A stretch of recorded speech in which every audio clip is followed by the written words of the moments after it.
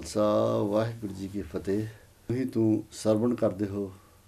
ਅੱਜ ਵੀ ਆਪ ਜੀ ਵਾਸਤੇ ਤੂੰ ਹੀ ਤੂੰ ਦੇ ਪ੍ਰੋਗਰਾਮ ਵਿੱਚ ਅਸੀਂ ਆਪ ਜੀ ਦੇ ਨਾਲ ਸਾਂਝ ਪਾਵਾਂਗੇ, ਵਿਚਾਰਾਂ ਕਰਾਂਗੇ। ਕਿਉਂਕਿ ਵਿਚਾਰਾਂ ਦੇ ਵਿੱਚੋਂ ਸਾਨੂੰ ਬਹੁਤ ਕੁਝ ਪ੍ਰਾਪਤ ਹੁੰਦਾ ਹੈ। ਤੇ ਜਦੋਂ ਅਸੀਂ ਵਿਚਾਰ ਛੱਡ ਦਿੰਨੇ ਹਾਂ, ਤੇ ਫਿਰ ਸਾਡੇ ਸਾਹਮਣੇ ਟੱਕਰਾਂ ਹੀ ਟੱਕਰਾਂ ਰਹਿੰਦੀਆਂ ਅਸੀਂ ਸਾਡੇ ਵਿੱਚ ਚੀੜਾਪਨ ਆ ਜਾਂਦਾ ਕਿਉਂਕਿ ਵਿਚਾਰ ਜਿਹੜੀ ਜਿਹੜੀ ਆ ਸਾਡੇ ਵਿੱਚੋਂ ਨਿਕਲ ਜਾਂਦੀ ਹੈ ਲੇਕਿਨ ਗੁਰੂ ਸਾਹਿਬ ਨੇ ਵਿਚਾਰ ਦੇ ਵਿੱਚ ਬਹੁਤ ਜ਼ਿਆਦਾ ਜ਼ੋਰ ਦਿੱਤਾ ਕਿ ਜਿੰਨਾ ਵੀ ਅਸੀਂ ਵਿਚਾਰ ਕਰਾਂਗੇ ਉਹਨਾਂ ਸਾਨੂੰ ਸੁੱਖ ਮਿਲਣਗੇ ਉਹਨਾਂ ਸਾਡੀ, ਸਾਨੂੰ ਜ਼ਿਆਦਾ ਪ੍ਰਾਪਤੀ ਹੋ ਸਕਦੀ ਹੈ ਤੋ ਅੱਜ ਅਸੀਂ ਆਪ ਜੀ ਦੇ ਨਾਲ, ਤੂੰ ਹੀ ਤੂੰ ਦੇ ਪ੍ਰੋਗਰਾਮ ਦੇ ਵਿੱਚ ਸਿਰਫ ਉਹੀ ਗੱਲ ਵਿਚਾਰਾਂਗੇ ਜਿਹੜੀ ਹਮੇਸ਼ਾ ਵਿਚਾਰਦੇ ਹੁੰਨੇ ਹਾਂ, ਮੈਂ ਅਤੇ ਤੂੰ। ਔਰ ਇਹਦੇ ਵਿੱਚ ਇੱਕ ਗੱਲ ਜਿਹੜੀ ਸਾਡੇ ਬਹੁਤ ਹੀ ਸਾਹਮਣੇ ਆਈ ਹੈ ਕਿ ਜਦੋਂ ਇਨਸਾਨ ਪੈਦਾ ਹੁੰਦਾ ਹੈ। ਤੇ ਆਮ ਤੌਰ ਤੇ ਅਸੀਂ ਕਹਿੰਦੇ ਹਾਂ ਕਿ ਇਨਸਾਨ ਜਿਹੜਾ ਖਾਲੀ ਹੱਥ ਲੈ ਕੇ ਆਇਆ। ਤੇ ਖਾਲੀ ਹੱਥ ਇਹਨਾਂ ਨੇ ਚਲੇ ਜਾਣਾ। ਨਾ ਕੁਝ ਲੈ ਕੇ ਆਇਆ ਤੇ ਨਾ ਕੁਝ ਲੈ ਕੇ ਇੱਥੋਂ ਜਾਣਾ। ਪਰ ਜਦੋਂ ਅਸੀਂ ਇਸ ਗੱਲ ਨੂੰ ਥੋੜਾ ਜਿਹਾ ਵਿਚਾਰਨ ਦੀ ਕੋਸ਼ਿਸ਼ ਕਰੀਏ, ਇਸ ਦਾ ਮਤਲਬ ਤਾਂ ਇਹ ਨਿਕਲਦਾ ਕਿ ਬੰਦਾ ਕੁਝ ਲੈ ਕੇ ਆਇਆ ਨਹੀਂ, ਇੱਥੋਂ ਲੈ ਕੇ ਕੁਝ ਜਾਣਾ ਨਹੀਂ, ਫਿਰ ਆਇਆ ਕਿਉਂ? ਜੇ ਅਕਾਲ ਅਕਾਲਪੁਰ ਵਾਹਿਗੁਰੂ ਨੇ ਸਾਨੂੰ ਇਸ ਧਰਤੀ ਤੇ ਭੇਜਿਆ, ਜੀ ਜੀਵਨ ਦਿੱਤਾ, ਜਾਂ ਸਾਰੀ ਜਿਹੜੀ ਸ੍ਰਿਸ਼ਟੀ ਬਣਾਈ ਆ, ਉਹਦਾ ਕੋਈ ਨਾ ਕੋਈ ਮਕਸਦ ਤਾਂ ਹੈ। ਤੇ ਜੇ ਆਪਾਂ ਸਿੱਧਾ ਹੀ ਕਹਿ ਲਈਏ ਇਹ ਵੀ ਕੋਈ ਲੈ ਕੇ ਆਇਆ ਨਹੀਂ ਕੁਝ ਲੈ ਕੇ ਜਾਣਾ ਨਹੀਂ, ਤੇ ਗੱਲ ਥੋੜੀ ਸਮਝ ਤੋਂ ਬਾਹਰ ਚਲ ਜਾਂਦੀ ਹੈ ਪਰ ਅਸੀਂ ਅਜੇ ਤੱਕ ਜੋ ਕੁਝ ਵੀ ਪੜ੍ਹਦੇ ਔਰ ਸੁਣਦੇ ਆਏ ਹਾਂ ਕਈ ਵਾਰੀ ਸਾਖੀਆਂ ਸੁਣਦੇ ਆਏ ਹਾਂ, ਤੇ ਉਹਨਾਂ ਦੇ ਵਿੱਚੋਂ ਇਹ ਨਿਕਲਦਾ ਕਿ ਇਨਸਾਨ ਜਦੋਂ ਪੈਦਾ ਹੋਇਆ, ਉਹ ਨੰਗਾ ਸੀ। ਉਹਦੇ ਕੋਲ ਕੁਝ ਨਹੀਂ ਸੀ। ਜਦੋਂ ਉਹਨੇ ਜਾਣਾ, ਉਦੋਂ ਵੀ ਨੰਗਿਆਂ ਨੇ ਜਾਣਾ। ਕੋਲ ਉਹਦੇ ਕੁਝ ਨਹੀਂ ਜਾਣਾ। ਜੋ ਕੁਝ ਇੱਥੇ ਖੱਟਾ ਕਮਾਇਆ, ਇੱਥੇ ਹੀ ਰਹਿ ਜਾਣਾ। ਪਰ ਜਦੋਂ ਆਪਾਂ ਗੁਰਬਾਣੀ ਦੀ ਵਿਚਾਰ ਕਰੀਏ, ਗੁਰਬਾਣੀ ਦੇ ਮੁਤਾਬਕ ਸੋਚਣ ਦੀ ਕੋਸ਼ਿਸ਼ ਕਰੀਏ, ਤੇ ਇਹ ਗੱਲ ਜਿਹੜੀ ਆ, ਇਹ ਪੁੱਠੀ ਪੈ ਜਾਂਦੀ ਆ। ਦੇਖਣ ਨੂੰ ਤਾਂ ਸਾਨੂੰ ਜ਼ਰੂਰ ਲੱਗਦਾ ਕਿ ਜਦੋਂ ਅਸੀਂ ਪੈਦਾ ਹੋਏ ਸਾਰੇ ਸਾਰਿਆਂ ਦੇ ਹੱਥ ਖਾਲੀ ਸੀ, ਕੋਲ ਕਿਸੇ ਦੇ ਕੋਲ ਕੁਝ ਨਹੀਂ ਸੀ ਤੇ ਸਾਰੇ ਰੋਂਦੇ ਆਏ ਆ। ਤੇ ਜਦੋਂ ਜਾਣਾ ਜਾਣਾ ਸਾਡੇ ਕੋਲ ਕਿਸੇ ਕੋਲ ਕੁਝ ਨਹੀਂ। ਗੱਡੀਆਂ, ਮੋਟਰਾਂ, ਕੋਠੀਆਂ ਅਹੁਦੇ ਕੁਰਸੀਆਂ, ਜੋ ਕੁਝ ਵੀ ਹੈ, ਸਾਰਾ ਕੁਝ ਇੱਥੇ ਰਹਿ ਜਾਣਾ। ਪਰ ਆਇਆ ਕੀ ਸਾਡੇ ਨਾਲ ਤੇ ਸਾਡੇ ਨਾਲ ਜਾਣਾ ਕੀ ਆ? ਇੱਕ ਬਹੁਤ ਵੱਡਾ ਸਵਾਲ ਜਿਹੜਾ ਆ, ਉਹ ਸਾਡੇ ਸਾਹਮਣੇ ਆ ਕੇ ਖੜਾ ਹੋ ਜਾਂਦਾ। ਅਸਲ ਵਿੱਚ ਗੁਰੂ ਸਾਹਿਬ ਨੇ ਗੁਰੂ ਗ੍ਰੰਥ ਸਾਹਿਬ ਦੇ ਖੀਤ ਵਿੱਚ ਲਿਖਿਆ, ਥਾਲ ਵਿੱਚ ਤਿੰਨ ਵਸਤੂ ਪਈਓ, ਸਤ ਸੰਤੋਖ ਵਿਚਾਰੋ। ਤੇ ਸਤ ਤੇ ਸੰਤੋਖ ਦੇ ਨਾਲ ਇਸ ਚੀਜ਼ ਨੂੰ ਵਿਚਾਰਨ ਦੀ ਬਹੁਤ ਲੋੜ ਹੈ। ਤਾਂ ਅਸੀਂ ਜਿਹੜੇ ਅਗਲੇ ਕਦਮੇ ਪੁੱਟ ਸਕਦੇ ਹਾਂ, ਤਾਂ ਅਸੀਂ ਅਗਲੀ ਖੋਜ ਜਿਹੜੀ ਆ ਸ਼ੁਰੂ ਕਰ ਸਕਦੇ ਹਾਂ। ਤਾਂ ਅਸੀਂ ਅੱਗੇ ਬਾਰੇ ਸੋਚ ਸਕਦੇ ਹਾਂ ਵੀ ਅਸਲੀ ਜੀਵਨ ਜਿਹੜਾ, ਉਹਦਾ ਮਕਸਦ ਕੀ ਹੈ ਤੇ ਹੈ ਕੀ ਹੈ। ਇਹਦੇ ਵਿੱਚ ਕੋਈ ਦੋ ਰਾਮਾ ਨਹੀਂ ਗਿਆ ਕਿ ਸਰੀਰਕ ਤੌਰ ਤੇ ਦੇਖੀਏ ਜਾਂ ਆਪਣੇ ਹੱਥਾਂ ਪੈਰਾਂ ਵੱਲ ਦੇਖੀਏ। ਤੇ ਅਸੀਂ ਜਦੋਂ ਜਨਮ ਲਿਆ ਕੁਝ ਵੀ ਲੈ ਕੇ ਨਹੀਂ ਸੀ ਆਏ। ਪਰ ਜੇ ਅਸੀਂ ਉਹਨੂੰ ਥੋੜਾ ਜਿਹਾ ਹੋਰ ਡੁਗਾਈ ਤੱਕ ਵਿਚਾਰਨ ਦੀ ਕੋਸ਼ਿਸ਼ ਕਰੀਏ, ਤੇ ਇੱਕ ਬੱਚਾ ਜਦੋਂ ਪੈਦਾ ਹੋਇਆ, ਉਹ ਐਸੇ ਗਰੀਬ ਪਰਿਵਾਰ ਦੇ ਵਿੱਚ ਪੈਦਾ ਹੋਇਆ ਜਿੱਥੇ ਖਾਣ ਵਾਸਤੇ ਕੁਛ ਨਹੀਂ, ਪਹਿਨਣ ਵਾਸਤੇ ਕੁਛ ਨਹੀਂ, ਰਹਿਣ ਵਾਸਤੇ ਵੀ ਮਕਾਨ ਹੈ ਨਹੀਂ, ਝੁੱਗੀਆਂ ਤੇ ਬੜੇ ਮੁਸ਼ਕਲਾਂ ਦੇ ਹਾਲਾਤਾਂ ਦੇ ਵਿੱਚ ਉਹ ਬੱਚੇ ਨੇ ਉੱਥੇ ਜਨਮ ਲਿਆ। ਤੇ ਦੂਸਰੇ ਪਾਸੇ ਹੀ ਇੱਕ ਬੱਚਾ ਪੈਦਾ ਹੋਇਆ। ਉਸੇ ਵਿਧੀ ਨਾਲ, ਉਸੇ ਤਰੀਕੇ ਦੇ ਨਾਲ, ਜਿਸ ਤਰੀਕੇ ਨਾਲ ਝੁੱਗੀ ਵਿੱਚ ਰਹਿਣ ਵਾਲਾ ਬੱਚਾ ਜਿਹੜਾ ਆ ਪੈਦਾ ਹੋਇਆ। ਤੇ ਉਹਦੇ ਜੰਮਦਿਆਂ ਹੀ ਉਹਦੇ ਕੋਲ ਕੋਠੀਆਂ ਸੀਗੀਆਂ, ਉਹਦੇ ਕੋਲ ਨੌਕਰ ਚਾਕਰ ਸੀਗੇ, ਕਰੋੜਾਂ ਰੁਪਈਆਂ ਦੀ ਜਾਇਦਾਦ ਦਾ ਮਾਲਕ ਬਣ ਗਿਆ ਜੰਮਦੇ ਉਹ। ਉਹਦੀ ਸੇਵਾ ਕਰਨ ਵਾਸਤੇ ਬੜਾ ਬੜਾ ਲੋ ਲਸ਼ਕਰ ਸੀਗਾ।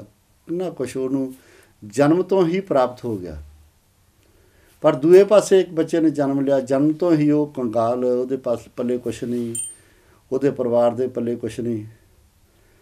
ਤੇ ਜ਼ਰੂਰ ਸੋਚਣਾ ਪੈਂਦਾ। ਆਮ ਤੌਰ ਤੇ ਬੱਚੇ ਕਈ ਵਾਰ ਸਵਾਲ ਕਰਦੇ ਆ ਕਿ ਜੇ ਰੱਬ ਹੈਗਾ, ਤੇ ਫਿਰ ਇਸ ਤਰੀਕੇ ਨਾਲ ਕਿਉਂ ਹੋਇਆ?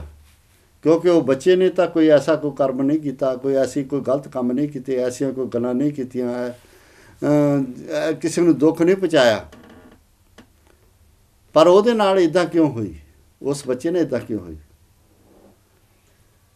ਤੇ ਦੂਏ ਪਾਸੇ ਉਹ ਜਿਹੜਾ ਬੱਚਾ ਜੰਮਦਾ ਹੀ ਜਿਹੜਾ ਕਰੋੜਾਂ ਰੁਪਈਆਂ ਦਾ ਮਾਲਕ ਬਣ ਗਿਆ ਜੰਮਦਿਆਂ ਉਹਦੇ ਨੌਕਰ ਉਹਦੇ ਨਾਲ ਇਦਾਂ ਕਿਉਂ ਹੋਈ?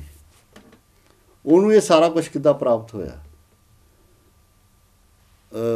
ਆਮ ਤੌਰ ਤੇ ਬੱਚੇ ਜਦੋਂ ਬੱਚਿਆਂ ਦੀ ਕਲਾਸ ਲਈਦੀ ਆ, ਇਹ ਸਵਾਲ ਜਿਹੜਾ ਆ ਬੱਚੇ ਆਮ ਤੌਰ ਤੇ ਕਰਨ ਦੇ, ਫਿਰ ਬੱਚੇ ਇੱਥੇ ਤੱਕ ਵੀ ਉਹਨਾਂ ਨੇ ਸਵਾਲ ਕੀਤਾ ਕਿ ਜਦੋਂ ਅਸੀਂ ਕਹਿੰਦੇ ਆ ਕਿ 84 ਲੱਖ ਜੂਨ ਤੋਂ ਬਾਅਦ ਇਹ ਮਨੁੱਖ ਦੀ ਜੇ ਦੇਹੀ ਜਿਹੜੀ ਸਾਨੂੰ ਮਿਲੀ ਆ, ਤੇ ਜੇ ਸਾਨੂੰ 84 ਲੱਖ ਜੂਨਾਂ ਤੋਂ ਬਾਅਦ ਇਹ ਦੇਹੀ ਮਿਲੀ ਆ।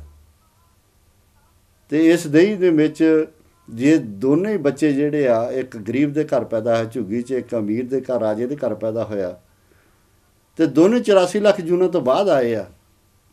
ਤੇ ਫਿਰ ਉਹਨਾਂ ਨੇ ਇਹ ਵਿਤਕਰਾ ਕਿਉਂ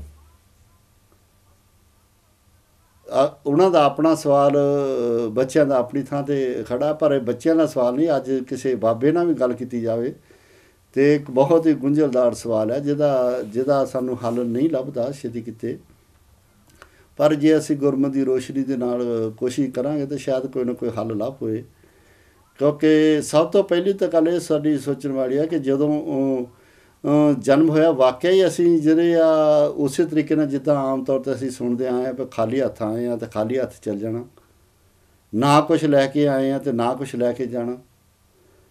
ਅਸੀਂ ਆਮ ਗੁਰੂ ਘਰਾਂ ਦੇ ਵਿੱਚ ਢਾਡੀ ਸਿੰਘਾਂ ਤੋਂ ਕੀਰਤਨੀ ਸਿੰਘਾਂ ਤੋਂ ਕਥਾਵਾਚਕ ਜਿਹੜੇ ਸਿੰਘ ਆ, ਉਹਨਾਂ ਤੋਂ ਇਹੀ ਗੱਲ ਸੁਣਦੇ ਆਏ ਆ ਪਰ ਜੋ ਕੁਝ ਮੈਂ ਆਪਣੇ ਵੱਲੋਂ ਵਿਚਾਰਨ ਦੀ ਕੋਸ਼ਿਸ਼ ਕੀਤੀ ਗੁਰੂ ਦੀ ਕਿਰਪਾ ਦੇ ਨਾਲ, ਮੈਨੂੰ ਇਹ ਮਹਿਸੂਸ ਹੁੰਦਾ ਪਿਆ ਅਸੀਂ ਜੋ ਕੁਝ ਇਸ ਜੀਵਨ ਵਿੱਚ ਕਰਨਾ ਸੀ, ਜੋ ਕੁਝ ਅਸੀਂ ਇਸ ਜੀਵਨ ਵਿੱਚ ਕਰਨਾ, ਉਹ ਅਸੀਂ ਨਾਲ ਲੈ ਕੇ ਆਏ ਹਾਂ। ਸਾਨੂੰ ਅਕਾਲ ਪੁਰਖ ਵਾਹਿਗੁਰੂ ਨੇ ਜਿਨੇ ਇਹ ਜਨਮ ਦਿੱਤਾ, ਇਸ ਧਰਤੀ ਉੱਤੇ ਭੇਜਿਆ, ਉਹਨੇ ਕੁਝ ਪੂੰਜੀ ਸਾਨੂੰ ਦੇ ਕੇ ਭੇਜੀ ਆ। ਅਸੀਂ ਖਾਲੀ ਹੱਥ ਨਹੀਂ ਆਏ। ਇਹ ਸਰੀਰਕ ਹੱਥ ਜਿਹੜੇ ਆ, ਇਹ ਪੰਜਾਂ ਤੱਤਾਂ ਤੋਂ ਬਣੇ ਆ। ਇਹ ਜ਼ਰੂਰ ਖਾਲੀ ਆ, ਦੇਖਣ ਨੂੰ ਸਾਨੂੰ ਜ਼ਰੂਰ ਖਾਲੀ ਲੱਗਦੇ ਆ। ਪਰ ਜਿਹਨੂੰ ਜਨਮ ਵਾਲੀ ਗੱਲ ਕਰਦੇ ਆ, ਜਿਹਨੂੰ ਮੌਤ ਵਾਲੀ ਗੱਲ ਕਰਦੇ ਆ, ਜਿਹਨੂੰ ਕਹਿੰਦੇ ਆ ਸਾਡਾ ਜਨਮ ਹੋਇਆ। ਜਦੋਂ ਉਹ ਜਨਮ ਹੋਇਆ ਤੇ ਜਨਮ ਦੇ ਨਾਲ ਸਾਡੇ ਬਹੁਤ ਕੁਝ ਆਇਆ। ਪਹਿਲੀ ਗੱਲ ਤਾਂ ਇਹ ਆ ਕਿ ਜਦੋਂ ਜਨਮ ਹੋਇਆ ਤੇ ਅਕਾਲਪੁਰ ਵਾਹਿਗੁਰੂ ਨੇ ਸਾਨੂੰ ਇਸ ਇਨਸਾਨੀ ਜਨਮ ਦੇ ਵਿੱਚ ਭੇਜਿਆ, ਇਨਸਾਨ ਦੀ ਜੂਨ ਦੇ ਵਿੱਚ ਭੇਜਿਆ ਔਰ ਸਾਡੀ ਨੂੰ ਉਹਨੇ ਸਵਾਸਾਂ ਦੀ ਪੂੰਜੀ ਦਿੱਤੀ। ਜਿਹੜੇ ਅਸੀਂ ਸਾਸ ਗ੍ਰਾਹ ਦੀ ਗੱਲ ਕਰਦੇ ਆਂ ਸਾਹਾਂ ਦੀ ਗੱਲ ਕਰਦੇ ਆਂ ਕਿ ਉਹਦੇ ਸਾਹ ਪੂਰੇ ਹੋ ਗਏ ਤੇ ਉਹ ਮਰ ਗਿਆ। ਉਹਦੀ ਇੰਨੀ ਲਿਖੀ ਸੀ, ਉਹ ਮਰ ਗਿਆ। ਉਹ ਇੰਨੀ ਲਿਖੀ ਉਹ ਸਵਾਸਾਂ ਦੀ ਪੂੰਜੀ, ਉਹ ਆਪ ਆਪਣੀ ਥਾਂ ਤੇ ਇੱਕ ਹੋਰ ਸਵਾਲ ਜਿਹੜਾ ਆ, ਉਹ ਖੜਾ ਹੁੰਦਾ, ਉਹ ਜਿਹੜੀ ਸਵਾਸਾਂ ਦੀ ਪੂੰਜੀ ਉਹ ਕਿਹਨੇ ਲਿਖੀ? ਉਹ ਸਾਨੂੰ ਇੰਨੀ ਕਿਉਂ ਮਿਲੀ? ਕੋਈ ਸਾਲ ਦਾ ਬੱਚਾ ਮਾਰਿਆ, ਕੋਈ 6 ਮਹੀਨੇ ਦਾ ਮਾਰਿਆ, ਕੋਈ 10 ਸਾਲ ਦਾ ਮਾਰਿਆ, ਕੋਈ 15 ਸਾਲ ਦਾ, ਕੋਈ 65 ਸਾਲ ਦਾ, ਕੋਈ 90 ਸਾਲ ਦਾ। ਇਹ ਜਿਹੜੀ ਸਵਾਸਾਂ ਦੀ ਪੂੰਜੀ ਆ, ਇਹ ਸਾਨੂੰ ਕਿਹਨੇ ਦਿੱਤੀ ਤੇ ਇੰਨੀ ਕਿਉਂ ਦਿੱਤੀ? ਇਹ ਸਾਰਿਆਂ ਨੂੰ ਵੱਖਰੀ ਵੱਖਰੀ ਕਿਉਂ ਦਿੱਤੀ? ਇਹ ਸਾਰਿਆਂ ਨੂੰ ਜੇ 100 ਸਾਲ ਦੀ ਬੰਦੇ ਦੀ ਉਮਰ ਕਹਿੰਦੇ ਆ, ਤਾਂ ਸਾਰਿਆਂ ਦੀ ਉਮਰ 100 ਸਾਲ ਹੀ ਕਿਉਂ ਨਹੀਂ ਹੋਈ? ਇਦਾਂ ਕਿਉਂ ਹੋ ਗਈ ਕਿ ਕਿਸੇ ਨੂੰ 15 ਸਾਲ, ਕਿਸੇ ਨੂੰ 10 ਸਾਲ, ਕਿਸੇ ਨੂੰ 20 ਸਾਲ ਕੋਈ ਜੰਮਦੇ ਮਰ ਜਾਂਦਾ? ਇਹ ਪੂੰਜੀ ਇਦਾਂ ਕਿਉਂ ਹੋਈ? ਇਹਦੇ ਵਿੱਚ ਕਿਉਂ ਹੋਇਆ? ਕਿ ਉਹ ਸਾਡੇ ਨਾਲ ਕਾਲਪੁਰ ਵਾਹਿਗੁਰੂ ਨੇ ਵਿਤਕਰਾ ਕੀਤਾ? ਜਾਂ ਇਹਦਾ ਕੋਈ ਹੋਰ ਕਾਰਨ? ਕਿਉਂਕਿ ਜਦ ਤੱਕ ਅਸੀਂ ਪਿੱਛੇ ਤੱਕ ਡੰਗਾਈ ਤੱਕ ਨਹੀਂ ਜਾਵਾਂਗੇ, ਉਹ ਕਾਰਨ ਲੱਭਣ ਦੀ ਤੇ ਗੱਲ ਜਿਹੜੀ ਆ, ਬਣਨੀ ਨਹੀਂ ਸਾਡਾ ਜਿਹੜਾ ਸਵਾਲ ਆ, ਉਹ ਵਿੱਚ ਦਾ ਵਿੱਚ ਉੱਥੇ ਦਾ ਉੱਥੇ ਖੜਾ ਜਿਹੜਾ ਔਰ ਉਹ ਉਹ ਰਹਿ ਜਾਣਾ। ਤੋ ਇਹ ਜਿਹੜਾ ਜਨਮ ਸਾਨੂੰ ਅਕਾਲ ਪੁਰਖ ਵਾਹਿਗੁਰੂ ਨੇ ਦਿੱਤਾ, ਉਹਦੀ ਕਿਰਪਾ ਦੁਆਰਾ ਸਾਨੂੰ ਇਹ ਜਨਮ ਮਿਲਿਆ। ਕੀ ਇਸ ਜਨਮ ਤੋਂ ਪਹਿਲਾਂ ਵੀ ਅਸੀਂ ਕੋਈ ਇਹ ਐਸਾ ਜਨਮ ਲਿਆ, ਜਿਹਦੇ ਕਰਕੇ ਇਹ ਸਾਰਾ ਕੁਝ ਸਾਨੂੰ ਹੁਣ ਦੁਆਰਾ ਭੁਗਤਣਾ ਪਿਆ ਜਾਂ ਇਸ ਤਰੀਕੇ ਨਾਲ ਹੋਇਆ। ਇਹ ਇੱਕ ਸਵਾਲ ਹੈ ਜਿਹਦੇ ਬਾਰੇ ਕੋਈ ਵੀ ਅਜੇ ਤੱਕ ਦੁਨੀਆ ਦਾ ਪੀਰ ਪੈਗੰਬਰ, ਦੇਵੀ ਦੇਵਤਾ ਉਹ ਨਹੀਂ ਦੱਸ ਸਕਿਆ। ਕਿਉਂਕਿ ਜਿਹੜੇ ਪੂਰਬਲੇ ਜਨਮ ਹੈਗੇ ਆ, ਉਹਦੀ ਇੱਕ ਵਿਆਖਿਆ ਜਿਹੜੀ ਆ ਅਕਾਲ ਪੁਰਖ ਵਾਹਿਗੁਰੂ ਹੀ ਜਾਣਦਾ ਜਿਨੇ ਸਾਨੂੰ ਇਸ ਧਰਤੀ ਤੇ ਭੇਜਿਆ। ਤੇ ਜਿਹਦੇ ਕੋਲ ਅਸੀਂ ਬਾਅਦ ਦੇ ਵਿੱਚ ਜਾਣਾ, ਸਿਰਫ ਉਹੀ ਜਾਣਦਾ। ਅਸੀਂ ਉਹ ਜਾਣ ਨਹੀਂ ਸਕੇ, ਨਾ ਅਸੀਂ ਜਾਣ ਸਕਦੇ। ਹਾਂ ਵਿਗਿਆਨ ਨੇ ਬੜੀਆਂ ਖੋਜਾਂ ਕੀਤੀਆਂ, ਬੜਾ ਕੁਝ ਲੱਭ ਰਿਹਾ। ਇਹ ਤਾਂ ਲੱਭ ਲੈਂਦੇ ਆ ਵੀ ਸਮੁੰਦਰ ਦੇ ਵਿੱਚੋਂ 5000 ਸਾਲ ਪੁਰਾਣਾ ਇੱਕ ਬਾਟਾ ਲੱਭਿਆ। ਸਮੁੰਦਰ ਵਿੱਚੋਂ 10000 ਸਾਲ ਪੁਰਾਣੀ ਕੋਈ ਗੁਫਾ ਲੱਭ ਲਈ। ਐਸੀਆਂ ਚੀਜ਼ਾਂ ਦਾ ਬੜਾ ਕੁਛ ਹੋ ਜਾਂਦਾ। ਪਰ ਇਨਸਾਨ ਜਿਹੜਾ ਇੱਕ ਗਰੀਬ ਦੇ ਘਰ ਪੈਦਾ ਹੋਇਆ, ਇੱਕ ਅਮੀਰ ਦੇ ਘਰ ਪੈਦਾ ਹੋਇਆ, ਜੰਮਦਿਆਂ ਸਾਰੇ ਉਹਨਾਂ ਦੇ ਵਿੱਚ ਇੰਨਾ ਸਾਰਾ ਡਿਫਰੈਂਸ ਇਹਦੀ ਬੈਕਗ੍ਰਾਉਂਡ ਕੀ ਆ? ਅਜੇ ਤੱਕ ਸਾਇੰਸ ਨੇ ਲੱਭਣ ਦੀ ਕੋਸ਼ਿਸ਼ ਨਹੀਂ ਕੀਤੀ, ਨਾ ਉਹ ਲੱਭ ਸਕੀ ਹੈ, ਨਾ ਹਜੇ ਤੱਕ ਕਿਸੇ ਨੂੰ ਲੱਭਾ। ਪਰ ਗੁਰਮਤ ਜਿਹੜਾ ਉਸ ਦੀ ਵਿਆਖਿਆ ਜਿਹੜੀ ਆ ਉਹ ਕਰਦੀ ਆ। ਸ੍ਰੀ ਗੁਰੂ ਗ੍ਰੰਥ ਸਾਹਿਬ ਦੇ ਵਿੱਚੋਂ ਇਹਨਾਂ ਸਾਰੇ ਸਵਾਲਾਂ ਦੇ ਜਵਾਬ ਜਿਹੜੇ ਆ, ਉਹ ਮਿਲ ਸਕਦੇ ਆ ਸਿਰਫ ਵਿਚਾਰ ਕਰਨ ਦੀ ਲੋੜ ਆ। ਜਦੋਂ ਸਾਡਾ ਜਨਮ ਇਹ ਮਿਲਿਆ ਸਾਨੂੰ, ਉਹ ਸਵਾਸਾਂ ਦੀ ਪੂੰਜੀ ਲੈ ਕੇ ਅਸੀਂ ਆਏ ਆ ਆਪਣੇ ਪੂਰਬਲੇ ਜਿਹੜੇ ਕਰਮ ਆ, ਉਹਨਾਂ ਦਾ ਫਲ ਅਸੀਂ ਨਾਲ ਲੈ ਕੇ ਆਏ ਆ ਤੇ ਜਿਹੜੇ ਪਰਿਵਾਰ ਦੇ ਵਿੱਚ ਅਸੀਂ ਜਨਮ ਲਿਆ, ਉਹਨਾਂ ਦੇ ਨਾਲ ਜਿਹੜੇ ਸੰਬੰਧ ਸਾਡੇ ਜੁੜੇ ਆ, ਕੋਈ ਪੁੱਤ ਬਣ ਕੇ, ਕੋਈ ਪਿਤਾ ਬਣ ਕੇ, ਕੋਈ ਧੀ ਬਣ ਕੇ, ਕੋਈ ਨੂੰਹ ਬਣ ਕੇ, ਉਹ ਜਿਹੜੇ ਆ ਅਕਾਲ ਪੁਰਖ ਵਾਹਿਗੁਰੂ ਦੇ ਕਰਮਾਂ ਦੇ ਅਨੁਸਾਰ ਹੀ ਉਹ ਸਾਰੇ ਦੇ ਸਾਰੇ ਢੋਬਿਲ ਜਿਹੜੇ ਆ ਮਿਲਿਆ ਸਾਰੇ ਇੱਕ ਦੂਜੇ ਦੇ ਲੇਖੇ ਦੇਣ ਦੇ ਸੰਬੰਧ ਆ। ਪਰ ਸਾਨੂੰ ਉਹਦੇ ਬਾਰੇ ਪਤਾ ਨਹੀਂ। ਪਰ ਇਹ ਜਿਹੜੇ ਪੂਰਬਲੇ ਕਰਮਾਂ ਦੇ ਸੰਬੰਧ ਆ, ਉਸ ਤੋਂ ਬਗੈਰ ਐਡਾ ਵੱਡਾ ਅ, ਪੁਰਖ ਦਾ ਹੀ ਇੱਕ ਐਸਾ ਸਿਸਟਮ ਹੈ ਜਿੱਥੇ ਕਦੀ ਵੀ ਬੇਇਨਸਾਫੀ ਨਹੀਂ ਹੋ ਸਕਦੀ ਔਰ ਕਦੀ ਕਿਸੇ ਨਾਲ ਬੇਇਨਸਾਫੀ ਨਹੀਂ ਹੋ ਸਕਦੀ। ਇੱਕੋ ਇੱਕ ਦੁਨੀਆ ਦੇ ਵਿੱਚ ਐਸੀ ਅਦਾਲਤ ਹੈ ਇੱਕੋ ਇੱਕ ਦਾਰਾ ਐਸਾ ਜਿੱਥੇ ਹਮੇਸ਼ਾ ਹੀ ਇਨਸਾਫ ਹੁੰਦਾ ਜਿੱਥੇ ਨਾ ਕੋਈ ਜਾਤ ਪਾਤ ਦਾ ਨਾ ਕਿਸੇ ਪੈਸੇ ਦਾ ਨਾ ਕਿਸੇ ਅਹੁਦੇ ਦਾ ਕਿਸੇ ਦਾ ਕੋਈ ਪ੍ਰਭਾਵ ਨਹੀਂ। ਸਿਰਫ ਉਹਦੇ ਜਿਹੜੇ ਕਰਮ ਕੀਤੇ ਆ ਉਹਨਾਂ ਦਾ ਪ੍ਰਭਾਵ ਜਿਹੜਾ ਉਹਦੇ ਅਨੁਸਾਰ ਨਾ ਉਹਨੂੰ ਫਲ ਜਿਹੜਾ ਆ ਉੱਥੇ ਪ੍ਰਾਪਤ ਹੁੰਦਾ। ਔਰ ਉਹਨਾਂ ਫਲਾਂ ਦੇ ਮੁਤਾਬਕ ਹੀ ਉਸ ਨੂੰ ਜਿਹੜਾ ਉਹਦਾ ਉਹਦਾ ਜਨਮ ਮਿਲਿਆ।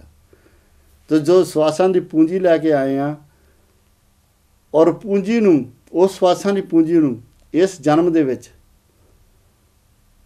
ਇਹ ਤਾਂ ਪਹਿਲੀ ਜਨਮ ਦੀ ਗੱਲ ਸੀ ਕਿ ਕਿੰਨੀ ਸਵਾਸਾਂ ਦੀ ਪੂੰਜੀ ਮਿਲੀ। ਜਿਹੜੇ ਸਾਡੇ ਵਸ ਤੋਂ ਬਾਹਰ ਆ ਪਿਆ ਅਸੀਂ ਉਹਨੂੰ ਖੋਜ ਕਰੀਏ, ਅਸੀਂ ਉਹਨੂੰ ਲੱਭੀਏ, ਕਿੱਦਾਂ ਲੱਭ ਸਕਦੇ ਹਾਂ?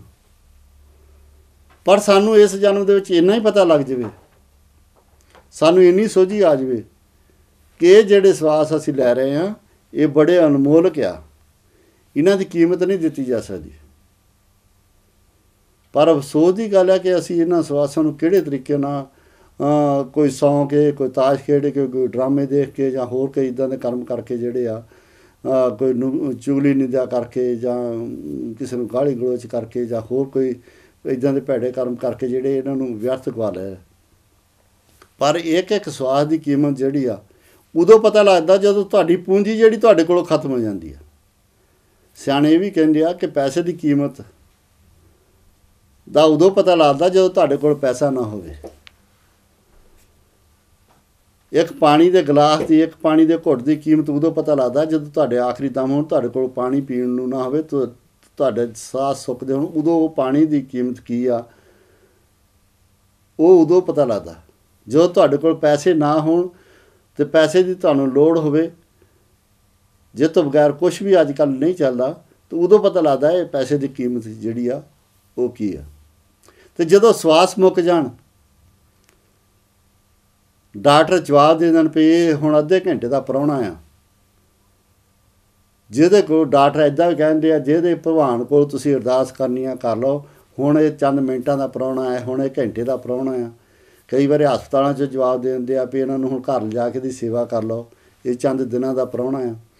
ਉਸ ਸਮੇਂ ਉਹ ਜਿਹੜੇ ਸਵਾਸ ਆ, ਉਹਨਾਂ ਦੀ ਕੀਮਤ ਕਿਸੇ ਤੋਂ ਪੁੱਛਿਆ ਜਾਵੇ ਜਾਂ ਕਿਸੇ ਨੂੰ ਦੱਸਿਆ ਜਾਵੇ, ਕਿਸੇ ਕਿਸੇ ਨੂੰ ਕਿਹਾ ਜਾਵੇ ਇਹ ਸਵਾਸ ਜਿਹੜੇ ਥੋੜੇ 2-4 ਦਿਨ ਵਾਸਤੇ ਹੋਰ ਉਧਾਰੇ ਦਿੱਤੇ ਜਾਣ, ਤੇ ਐਸਾ ਹੋ ਨਹੀਂ ਸਕਦਾ। ਅਜੇ ਤੱਕ ਕੋਈ ਵੀ ਰਾਜਾ ਮਹਾਰਾਜਾ ਉਹ ਜਿਹੜੇ ਸਵਾਸ ਆ, ਉਹ ਨਹੀਂ ਖਰੀਦ ਸਕਿਆ। ਅਕਾਲ ਪੁਰਖ ਵਾਹਿਗੁਰੂ ਤੋਂ। ਇਹ ਗੱਲ ਵੱਖਰੀ ਆ ਕਿ ਅਕਾਲ ਪੁਰਖ ਵਾਹਿਗੁਰੂ ਦਾ ਕੋਈ ਭਗਤ ਹੋਵੇ, ਕੋਈ ਉਹਦਾ ਪ੍ਰੇਮ ਕਰਨ ਵਾਲਾ ਹੋਵੇ, ਤੇ ਉਹ ਅਕਾਲ ਪੁਰਖ ਵਾਹਿਗੁਰੂ ਨੇ ਅਰਦਾਸ ਕਰਕੇ ਕਿਸੇ ਨੂੰ ਸਵਾਸ ਬਖਸ਼ ਦੇਵੇ, ਉਹਦੇ ਭਾਣੇ ਵਿੱਚ ਇਹ ਪੋਸੀਬਲ ਹੈ ਪਰ ਜੇ ਕੋਈ ਕਵੇ ਕਿਸੇ ਜ਼ੋਰ ਦੇ ਨਾਲ, ਕਿਸੇ ਜੁਗਤ ਦੇ ਨਾਲ ਜਾਂ ਹੋਰ ਕਿਸੇ ਢੰਗ ਦੇ ਨਾਲ ਇਹ ਜਿਹੜੇ ਸਵਾਸ ਆ ਇਹਨਾਂ ਨੂੰ ਵਧਾ ਲਵੇ ਤਾਂ ਉਹ ਨਹੀਂ ਹੋ ਸਕਦਾ। ਸੋ ਉਹ ਜਿਹੜੇ ਸਵਾਸ ਆ, ਜਿਹੜੇ ਸਵਾਸ ਅਸੀਂ ਵਿਅਰਥ ਜਿਹੜੇ ਗਵਾ ਰਹੇ ਆ, ਉਹ, ਇਹ ਸਾਨੂੰ ਭੁੱਲਣਾ ਨਹੀਂ ਚਾਹੀਦਾ ਕਿ ਉਹ ਪੂੰਜੀ ਅਸੀਂ ਨਾਲ ਲੈ ਕੇ ਆਏ ਆ ਔਰ ਉਸ ਪੂੰਜੀ, ਸਵਾਸਾਂ ਦੀ ਪੂੰਜੀ ਦੇ ਨਾਲ ਇਹ ਵੀ ਆ ਜਿਹੜੇ ਅਸੀਂ ਪਿਛਲੇ ਕ- ਜਨਮ ਦੇ ਵਿੱਚ ਕਰਮ ਕੀਤੇ ਆ, ਚਾਹੇ ਉਹ ਚੰਗੇ ਆ ਚਾਹੇ ਉਹ ਮਾੜੇ ਆ, ਉਹ ਵੀ ਸਾਡੇ ਨਾਲ ਆ। ਇੱਕ ਤਾਂ ਸਵਾਸਾਂ ਦੀ ਪੂੰਜੀ ਆ, ਇੱਕ ਚੰਗੇ ਮਾੜੇ ਜਿਹੜੇ ਅਸੀਂ ਪਹਿਲੇ ਕਰਮ ਕੀਤੇ ਆ, ਉਹ ਵੀ ਸਾਡੇ ਨਾਲ ਆਏ। ਪਰ ਉੱਥੇ ਇੱਕ ਹੋਰ ਤਾਂ ਚੰਗੀ ਗੱਲ ਹੈਗੀ ਆ ਕਿ ਕੁਝ ਤਾਂ ਚੰਗੇ ਅਸੀਂ ਕਰਮ ਕੀਤੇ ਆ ਕਿ ਸਾਨੂੰ ਮੁੜ ਕੇ ਉਹ ਇਨਸਾਨੀ ਜਾਮੇ ਦੇ ਵਿੱਚ ਜਿਹੜਾ ਆ ਸਾਡਾ ਜਨਮ ਹੋਇਆ। ਕੁਝ ਤਾਂ ਚੰਗੇ ਕੰਮ ਕੀਤੇ, ਇਹਦੇ ਵਿੱਚ ਕੋਈ ਦੋ ਰਾਮਾ ਨਹੀਂ ਨਹੀਂ ਤਾਂ ਅਸੀਂ ਕੋਈ ਭੇਡ, ਬੱਕਰੀ, ਉਲੂ ਭੇਡ ਕੁਝ ਵੀ ਬਣ ਸਕਦੇ ਸੀ, ਕੁੱਤਾ ਬਣ ਸਕਦੇ ਸੀ। 84 ਲੱਖ ਜੀਵ ਪਏ ਆ, ਕੋਈ ਵੀ ਬਣਾ ਸਕਦਾ ਸੀ ਕਾਲਪੁਰ ਵਾਹਿਗੁਰੂ ਕੇ ਉਹਦੇ- ਭਾਣੇ ਵਿੱਚ ਆ। ਪਰ ਚਾਹੇ ਉਹ ਬੱਚਾ ਕਿਸੇ ਗਰੀਬ ਦੇ ਘਰ ਦੇ ਵਿੱਚ ਪੈਦਾ ਹੋਇਆ, ਚਾਹੇ ਉਹ ਕਿਸੇ ਅਮੀਰ ਦੇ ਘਰ ਦੇ ਵਿੱਚ ਪੈਦਾ ਹੋਇਆ, ਪਰ ਉਹ ਇਨਸਾਨ ਜਨਮ ਵਿੱਚ ਆਇਆ। ਇਹਦਾ ਮਤਲਬ ਕੋਈ ਨਾ ਕੋਈ ਚੰਗੇ ਕਰਮ ਉਸਨੇ ਜ਼ਰੂਰ ਕੀਤੇ ਸੀ, ਜਿਹੜਾ ਇਨਸਾਨ ਜਨਮ ਵਿੱਚ ਆਇਆ। ਪਰ ਇੱਥੇ ਆ ਕੇ ਜਿਸ ਦੇ ਸਹਿਯੋਗ ਮਿਲੇ, ਇੱਕ ਮਾਤਾ ਮਿਲੀ ਆ, ਪਿਤਾ ਮਿਲੇ ਆ, ਕੋਈ ਭੈਣ ਭਰਾ, ਕੋਈ ਬਾਬਾ, ਨਾਨਾ, ਦਾਦੀ, ਦਾਦਾ ਮਿਲੇ ਆ। ਉਹਨਾਂ ਦੇ ਸਾਰਿਆਂ ਦੇ ਸਹਿਯੋਗ ਵੀ ਉਹਦੇ ਨਾਲ ਮਿਲੇ, ਮੇਲ ਖਾਂਦੇ ਆ, ਉਹਦੇ ਨਾਲ ਮਿਲੇ ਆ। ਉਹਨਾਂ ਦਾ ਪਿਛਲਾ ਕੋਈ ਲੇਖਾ ਜੋਖਾ, ਕੋਈ ਉਹਨਾਂ ਦਾ ਸੰਬੰਧ ਹੈਗਾ। ਜਿੱਦਾਂ ਆਮ ਤੌਰ ਤੇ ਅਸੀਂ ਕਹਿ ਦਿੰਦੇ ਆ, ਕੋਈ ਕਿਹੜੇ ਤਰੀਕੇ ਨਾਲ ਬਣ ਕੇ ਆ ਕੇ ਲੈ- ਲੇਖਾ ਲੈ ਜਾਂਦਾ ਆ, ਕੋਈ ਕਿਹੜੇ ਤਰੀਕੇ ਨਾਲ ਬਣ ਕੇ ਆ ਕੇ ਲੇਖਾ ਦੇ ਜਾਂਦਾ। ਉਹੀ ਪੁੱਤ ਹੁੰਦੇ ਆ। ਇੱਕ ਪੁੱਤ ਜਿਹੜਾ ਪਿਤਾ ਦੀ ਇੱਜ਼ਤ ਜਿਹੜੀ ਆ ਤਾਂ ਨੂੰ ਲੈ ਜਾਂਦਾ, ਚੜਾ ਕੇ ਇੱਕ ਪਿਤਾ ਦੀ ਇੱਜ਼ਤ ਜਿਹੜੀ ਡੋਬ ਦਿੰਦਾ, ਉਹੀ ਧੀ ਹੁੰਦੀ ਆ, ਮਾਤਾ ਪਿਤਾ ਦਾ ਨਾਮ ਰੋਸ਼ਨ ਕਰਨ ਦੀ ਆ, ਦੂਸਰੀ ਧੀ ਮਾਤਾ ਪਿਤਾ ਦਾ ਨਾਮ ਬਦਨਾਮ ਕਰਨ ਦੀ ਆ ਕੁਝ ਮਾਤਾ ਪਿਤਾ ਦੇ ਇਦਾਂ ਦੇ ਸੋ ਇਹ ਸਾਰੇ ਦਾ ਸਾਰਾ ਸਿਸਟਮ ਜਿਹੜਾ ਆ, ਅਕਾਲ ਪੁਰਖ ਨੇ ਇਹ ਆਪਣੇ ਸਿਸਟਮ ਵਿੱਚ ਬਣਿਆ ਆ। ਪਰ ਉਹ ਜਿਹੜੀ ਸਵਾਸਾਂ ਦੀ ਪੂੰਜੀ ਅਸੀਂ ਨਾਲ ਲੈ ਕੇ ਆਏ ਆ, ਉਹ ਸਾਨੂੰ ਪਤਾ ਹੈ ਵੀ ਇੰਨੇ ਸਵਾਸ ਜਿਹੜੇ ਆ ਉੱਥੇ ਤੱਕ ਪਹੁੰਚਣੇ ਪਰ ਸਾਨੂੰ ਉਹਦੇ ਬਾਰੇ ਨੌਲੇਜ ਨਹੀਂ। ਉਹ ਪੂੰਜੀ ਸਾਡੇ ਕੋਲ ਕਿੰਨੀ ਆ ਤੇ ਕਿਸੇ ਤੱਕ ਜਾਣੀ ਹੈ? ਉਹ 10 ਸਾਲ ਤੱਕ ਖਤਮ ਹੋ ਜਾਣੀ ਆ, ਉਹ 20 ਸਾਲ ਤੱਕ ਖਤਮ ਹੋਣੀ ਆ, ਉਹ 90 ਸਾਲ ਜਾਣੀ ਆ ਸਾਨੂੰ ਉਹਦੇ ਬਾਰੇ ਨਹੀਂ ਪਤਾ। ਪਰ ਇੰਨਾ ਜ਼ਰੂਰ ਆ ਵੀ ਜਿਹੜਾ ਬੱਚਾ ਜਨਮ ਲਿਆ, ਉਹ ਆਪਣੇ ਨਾਲ ਪੂਰਬਲੇ ਲੇਖ ਜਿਹੜੇ ਆ, ਉਹ ਲੈ ਕੇ ਆਇਆ, ਨਾਲ ਸਵਾਸਾਂ ਦੀ ਪੂੰਜੀ ਲੈ ਕੇ ਆਇਆ। ਤੇ ਆ ਕੇ ਇਸ ਜਨਮ ਦੇ ਵਿੱਚ ਜਿਹੜੇ ਸਹਿਯੋਗ ਮਿਲੇ ਆ, ਉਹਨਾਂ ਦੇ ਥਰੂ ਜੇ ਤਾਂ ਉਹਨੂੰ ਕਿਸੇ ਸੋਝੀ ਆ ਗਈ, ਗੁਰੂ ਮਹਾਰਾਜ ਨੇ ਵੀ ਕਿਰਪਾ ਕੀਤੀ, ਜਿਹੜੇ ਉਹਦੇ ਨਾਲ ਦੇ ਸਹਿਯੋਗੀ ਆ, ਉਹਨਾਂ ਦੇ ਨਾਲ ਵੀ ਕਿਰਪਾ ਕੀਤੀ, ਤੇ ਉਹ ਚੰਗੇ ਰਾਸਤੇ ਲਾ ਕੇ ਇਹ ਸਵਾਸਾਂ ਦੀ ਪੂੰਜੀ ਨੂੰ ਸਫਲ ਕਰਨ ਲੱਗ ਪਿਆ। ਭਾਵ ਕਹਿਣ ਤੋਂ ਇਹ ਆ ਕਿ ਜੋ ਕਾਲਪੁਰ ਵਾਹਿਗੁਰੂ ਨੂੰ ਮਿਲਣ ਦਾ ਰਸਤਾ ਹੈ, ਉਹਦੇ ਉੱਤੇ ਚੱਲ ਪਿਆ। ਸਵਾਸਾਂ ਦੀ ਪੂੰਜੀ ਨੂੰ ਸਫਲ ਕਰਨ ਦਾ ਮਕਸਦ ਇਹ ਆ, ਭਈ ਪ੍ਰਾਪਤ ਮਨੁੱਖ ਦੇ ਰਿਆ, ਗੋਬਿੰਦ ਮਿਲਣ ਕੀ, ਇਹ ਤਰੀ ਵਰਿਆ। ਜੇ ਤਾਂ ਅਸੀਂ ਉਸ ਅਕਾਲ ਅਕਾਲਪੁਰ ਵਾਹਿਗੁਰੂ ਨੂੰ ਜਿਹੜਾ ਮਿਲਦਾ ਰਸਤਾ ਹੈ, ਉਹਦੇ ਰਸਤੇ ਉੱਤੇ ਆਪਣੇ ਕਦਮ ਵਧਾ ਲਏ।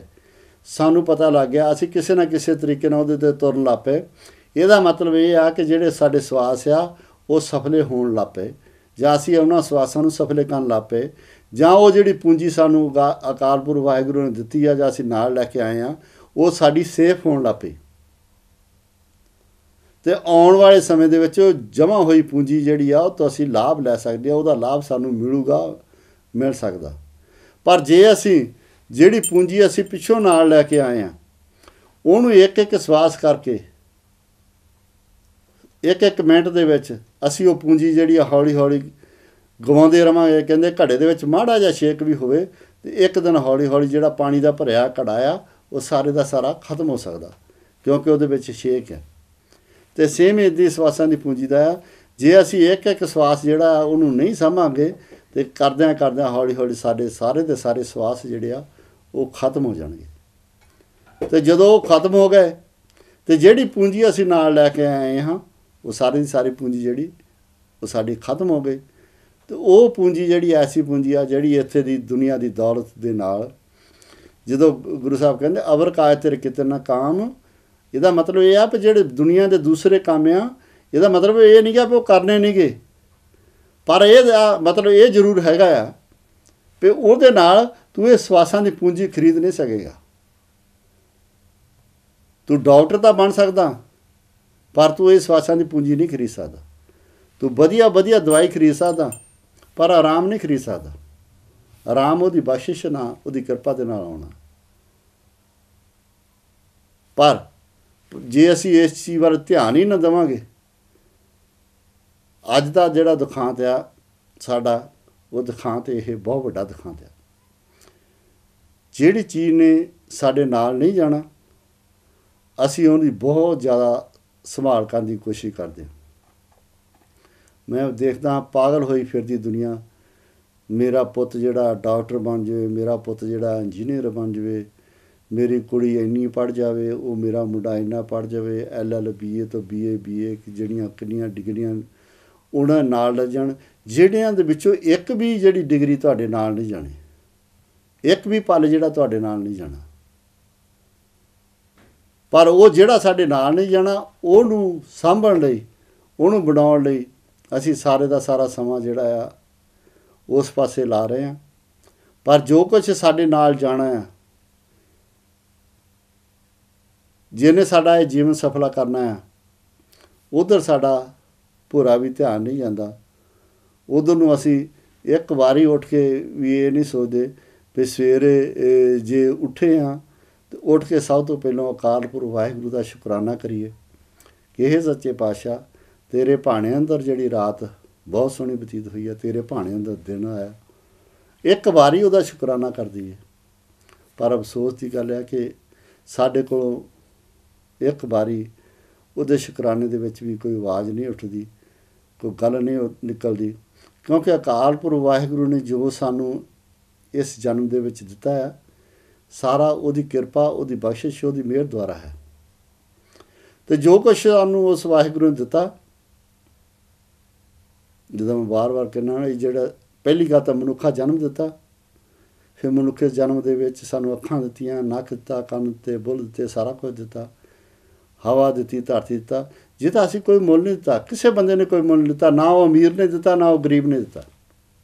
ਕਿਸੇ ਨੇ ਕੋਈ ਮੁੱਲ ਨਹੀਂ ਦਿੱਤਾ। ਇਹ ਸਾਰਾ ਕੁਝ ਉਹਦੀ ਬਖਸ਼ਿਸ਼ ਨਾ ਹੋਇਆ। ਉਹਦੀ ਕਿਰਪਾ ਨਾ ਹੋਇਆ, ਉਹਦੀ ਮਿਹਰ ਨਾ ਹੋਇਆ। ਤੇ ਜੇ ਸਾਰਾ ਕੁਝ ਉਹਦੀ ਬਖਸ਼ਿਸ਼ ਨਾ ਹੋਇਆ, ਮਿਹਰ, ਉਹਦੀ ਮਿਹਰ ਨਾ ਹੋਇਆ, ਤੇ ਅਸੀਂ ਕੀ ਕੀਤਾ? ਸਾਡਾ ਕੀ ਫਰਜ਼ ਬਣਦਾ? ਅਕਾਲ ਪੁਰਖ ਵਾਹਿਗੁਰੂ ਸਾਡੇ ਕੋਲੋਂ ਉਹਦੇ ਬੱਟੇ ਵਿੱਚ ਕੁਝ ਮੰਗਦਾ? ਕੀ ਅਸੀਂ ਅਕਾਲ ਪੁਰਖ ਵਾਹਿਗੁਰੂ ਨੂੰ ਉਹਦੇ ਬੱਟੇ ਵਿੱਚ ਕੁਝ ਦੇ ਸਕਦੇ ਹਾਂ? ਨਾ ਅਕਾਲ ਪੁਰਖ ਵਾਹਿਗੁਰੂ ਸਾਡੇ ਕੋਲ ਕੁਝ ਮੰਗਦਾ ਤੇ ਨਾ ਹੀ ਉਹਦੇ ਬੱਟੇ ਵਿੱਚ ਅਕਾਲ ਪੁਰਖ ਵਾਹਿਗੁਰੂ ਨੂੰ ਅਸੀਂ ਕੁਝ ਦੇ ਸਕਦੇ ਨਾ ਸਾਡੀ ਕੋਈ ਔਕਾਤ ਹੈ ਕਿ ਅਸੀਂ ਉਹਨੂੰ ਕੁਝ ਦੇ ਸਕੀਏ। ਪਰ ਇੱਥੇ ਵੀ ਇੱਕ ਸਵਾਲ ਆ ਜਾਂਦਾ, ਸੋਚਣ ਦੀ ਗੱਲ ਆ ਸਕਦੀ ਹੈ ਕਿ ਇੰਨਾ ਕੁਛ ਅਕਾਲ ਪੁਰਖ ਵਾਹਿਗੁਰੂ ਨੇ ਸਾਨੂੰ ਦਿੱਤਾ, ਇਸ ਧਰਤੀ ਤੇ ਭੇਜਿਆ ਐਡਾ ਸੋਹਣਾ ਜੀਵਨ ਦਿੱਤਾ ਤੇ ਅਕਾਲ ਪੁਰਖ ਵਾਹਿਗੁਰੂ ਨੇ ਵੀ ਭੇਡਾਂ ਬੱਕਰੀਆਂ ਤੇ ਹੋਰ ਜਾਨਵਰ ਬਣਾਏ, ਫਿਰ ਸਾਨੂੰ ਇੱਧਰ ਭੇਜਿਆ। ਇਹਦਾ ਮਤਲਬ ਕਾਲਪੁਰ ਵਾਹਿਗੁਰੂ ਨੂੰ, ਇਹਦਾ ਮਤਲਬ ਇਹ ਨਹੀਂਗਾ ਕਿ ਉਹ ਇਨਸਾਨਾਂ ਨੂੰ ਜ਼ਿਆਦਾ ਪਿਆਰ ਪਿਆਰ ਦਾ ਤੇ ਜਾਨਵਰਾਂ ਨੂੰ ਘੱਟ ਪਿਆਰ ਕਰਦਾ, ਉਹ ਸਾਰਿਆਂ ਨੂੰ ਪਿਆਰ ਕਰਦਾ, ਕਿਉਂਕਿ ਸਾਰੇ ਦੇ ਸਾਰੇ ਹੀ ਉਹਦੇ ਬਣਾਏ ਆ। ਦੁਨੀਆ ਤੇ ਜਿੰਨੇ ਵੀ ਜੀਵ ਧਰਤੀ ਤੇ ਅਸੀਂ ਦੇਖਦੇ ਹਾਂ, ਸਾਰੇ ਦੇ ਸਾਰੇ ਉਹਦੇ ਬਣਾਏ ਆ। ਹੋਰ ਕਿਸੇ ਨੇ ਨਹੀਂ ਬਣਾਇਆ ਕਾਲਪੁਰ ਵਾਹਿਗੁਰੂ ਨੇ ਬਣਾਏ। ਪਰ ਜੇ ਉਹਨੇ ਸਾਨੂੰ ਇਨਸਾਨੀ ਜਨਮ ਦੇ ਭੇਜਿਆ, ਇਹਦਾ ਮਤਲਬ ਉਹਨੇ ਸਾਨੂੰ ਜ਼ਿਆਦਾ ਪਿਆਰ ਕੀਤਾ, ਸਾਨੂੰ ਜ਼ਿਆਦਾ ਸਤਿਕਾਰ ਦਿੱਤਾ, ਸਾਨੂੰ ਜ਼ਿਆਦਾ ਚਾਂਸ ਦਿੱਤਾ। ਕਿਉਂਕਿ ਅਕਾਲ ਪੁਰਖ ਵਾਹਿਗੁਰੂ ਜੀ, ਅਸੀਂ ਧੀਆਂ ਪੁੱਤਰ ਆ, ਉਹੀ ਸਾਡਾ ਪਿਤਾ, ਤੂੰ ਮੇਰਾ ਪਿਤਾ, ਤੂੰ ਹੈ ਮੇਰਾ ਮਾਤਾ, ਉਹੀ ਸਾਡਾ ਪਿਤਾ ਹੈ, ਉਹੀ ਸਾਡੀ ਮਾਤਾ ਹੈ। ਪਰ ਅਸੀਂ ਉਹ ਤੋਂ ਵਿਛੜੇ ਆ ਔਰ ਉਹਨੂੰ ਮਿਲਣਾ ਚਾਹੁੰਦੇ ਆ। ਇਹ ਚਾਹਣ ਵਾਲੀ ਗੱਲ ਜਿਹੜੀ ਆ, ਜਦੋਂ ਸਾਡੀ ਸਮਝ ਆ ਗਈ ਤੇ ਫੇਰ ਜਿਹੜੀ ਸਾਰੀ ਸਾਰੀ ਵਿਆਖਿਆ ਹੈਗੀ ਆ, ਉਹਦਾ ਖੁਲਾਸਾ ਹੋ ਸਕਦਾ। ਉਹ ਜਿਹੜਾ ਜੀਵਨ ਸਫਰ ਕਰਨ ਵਾਸਤੇ ਸਾਨੂੰ ਸਵਾਸ ਮਿਲਿਆ ਉਹਨਾਂ ਦੀ ਪਰਖ ਸਾਨੂੰ ਕਰਨੀ ਪਊਗੀ। ਸਾਡੇ ਪੂਰਬਲੇ ਕਰਮ ਅਸੀਂ ਨਾਲ ਲੈ ਕੇ ਆਏ ਆ। ਸਾਡੇ ਜੀਵਨ ਦੀ ਪੂੰਜੀ ਜਿੰਨੀ ਵੀ ਆ ਸਵਾਸਾਂ ਦੀ, ਉਹ ਅਸੀਂ ਨਾਲ ਲੈ ਕੇ ਆਏ ਆ। ਅਸੀਂ ਉਹਨੂੰ ਕਿਹੜੇ ਤਰੀਕੇ ਨਾਲ ਵਰਤਿਆ? ਅਸੀਂ ਉਹਨੂੰ ਕਿਹੜੇ ਤਰੀਕੇ ਨਾਲ ਵਰਤਣਾ? ਤੇ ਆਉਣ ਵਾਲੇ ਸਮੇਂ ਦੇ ਵਿੱਚ ਅਸੀਂ ਕੀ ਕਰਨਾ? ਤੇ ਜਿਹੜਾ ਸਾਡੇ ਸਵਾਸਾਂ ਦੀ ਪੂੰਜੀ ਸਫਲ ਹੋ ਗਈ, ਜਾਂ ਅਸੀਂ ਜਦੋਂ ਮਰਨਾ ਆ, ਅਸੀਂ ਉਹਨੂੰ ਸਫ਼ਰ ਕਰਕੇ ਕਿਹੜੇ ਤਰੀਕੇ ਨਾਲ ਨਾਲ ਲਿਜਾ ਸਕਦੇ ਹਾਂ ਤੇ ਕੀ ਕੀ ਸਾਡੇ ਨਾਲ ਜਾ ਸਕਦਾ? ਇਹ ਤਾਂ ਗੱਲ ਸਚਾਈ ਆ ਕਿ ਜਿਹੜਾ ਸਰੀਰ ਆ, ਪੰਜਾਂ ਤੱਤਾਂ ਦਾ ਬਣਿਆ। ਪਹਿਲਾਂ ਜਦੋਂ ਜੰਮੇ ਉਦੋਂ ਪੰਜਾਂ ਤੱਤਾਂ ਬਣਿਆ ਸੀ ਜਦੋਂ ਮਰਨਾ ਤੇ ਸਾਡਾ ਸਾਰੇ ਦਾ ਸਰੀਰ ਪੰਜਾਂ ਤੱਤਾਂ ਦੇ ਵਿੱਚੋਂ ਨਿਕਲਿਆ, ਪੰਜਾਂ ਤੱਤਾਂ ਦੇ ਵਿੱਚ ਮਿਕਸ ਹੋ ਜਾਣਾ। ਨਾ ਕੁਛ ਆਇਆ ਤੇ ਨਾ ਕੁਛ ਗਿਆ। ਪਰ ਜੋ ਕੁਛ ਆਇਆ ਉਹ ਸਾਡੇ ਨਾਲ ਆਇਆ ਕਰਮਾਂ ਕਰਕੇ। ਜੋ ਕੁਛ ਜਾਣਾ, ਉਹ ਸਾਡੇ ਨਾਲ ਜਾਣਾ ਕਰਮਾ ਕਰਕੇ। ਇਹ ਵਿਆਖਿਆ ਆਪਾਂ ਬਾਅਦ ਦੇ ਵਿੱਚ ਕਰਦੇ ਹਾਂ। ਹੁਣ ਆਪਾਂ ਛੋਟੀ ਜਿਹੀ ਬ੍ਰੇਕ ਵੱਲ ਵਧਦੇ ਹਾਂ। ਉਮੀਦ ਹੈ ਕਿ ਤੁਸੀਂ ਇਸੇ ਤਰੀਕੇ ਨਾਲ ਜੁੜੇ ਰਹੋਗੇ। ਭੁੱਲਾਂ ਚ ਕੰਨੀ ਖਿਮਾ। ਵਾਹਿਗੁਰੂ ਜੀ ਕਾ ਖਾਲਸਾ, ਵਾਹਿਗੁਰੂ ਜੀ ਕੀ ਫਤਿਹ।